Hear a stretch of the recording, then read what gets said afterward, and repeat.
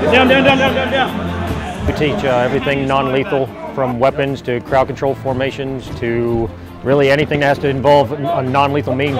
We know how to handle subjects through different vehicle arresting devices. There's all kinds of different things that encompass non-lethal weapons in what we teach here. This course is two weeks in length, 10 days total. It's not strictly for the Marine Corps, it's not strictly for the Army or any other branch of service. It's joint service, it's all DOD. So even the civilians get a piece of the action. And everybody, no matter what their mission is, they can tie in non-lethal in some form or fashion.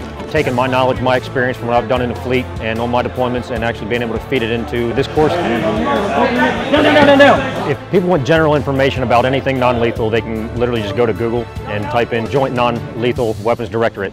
And they have a representative from each branch of service actually posted there to be the liaison in between the services and what have you. We like to go hard, we like to go strong. It's a tough course, you get crammed with a lot of stuff. And for the commanders out there, get your people to it. Have a liaison, have somebody that knows what they're talking about, and it just gives you that tool for your toolbox. And you can really speak intelligently to it, and you can see what additional capabilities that you have if you put forth the effort and get it tied into your unit.